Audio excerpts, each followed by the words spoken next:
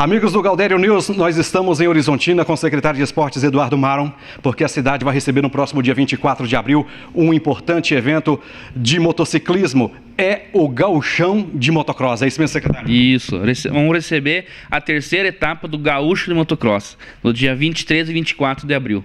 Vai ser uma baita competição, tem competidores do estado inteiro. Com certeza, é do estado inteiro, né? Uh, do Brasil, inclusive, né? Então vai ser uma bela competição, já estão uh, reservando, as, confirmando né, as vagas aí, os, os, pilotos, né? Então vai ser uma bela, bela competição. Vai, vai acontecer em que local?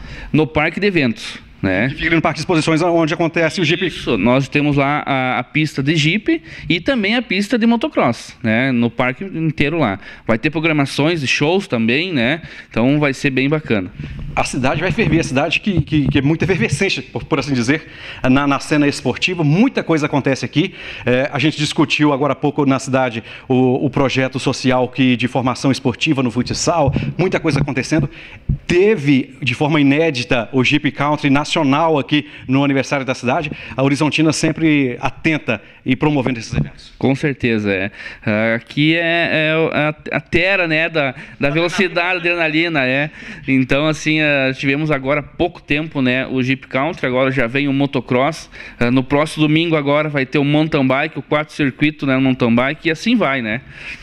Aí, antes ainda do motocross, já no domingo dia, vai ser, dia 10, teremos aqui isso salvo a, a, o tempo deixar também, né, secretário? Uma, uma importante competição de bike. De bike, é o quarto circuito, né? A quarta etapa do circuito de mountain bike. Já tem bastante gente para participar do evento confirmado? Já temos quase 250 uma, ciclistas confirmados, com inscrições pagas confirmadas. E vai ser também no parque de eventos? Também no parque de eventos. A gente sai de lá, né? Aí tem o ciclo turismo, turismo, são três etapas, né?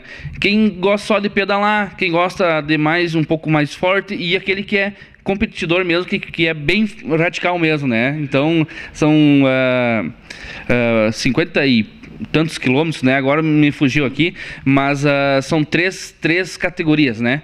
Que vão, vão, vão uh, fazer o pedal.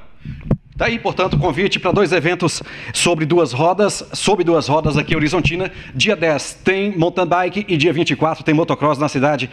Você que está na, na região, você que acompanha o Galdério, é só vir para cá, Horizontina vai bombar. Secretário, muito obrigado. Obrigado, obrigado pelo espaço aqui e venham para cá.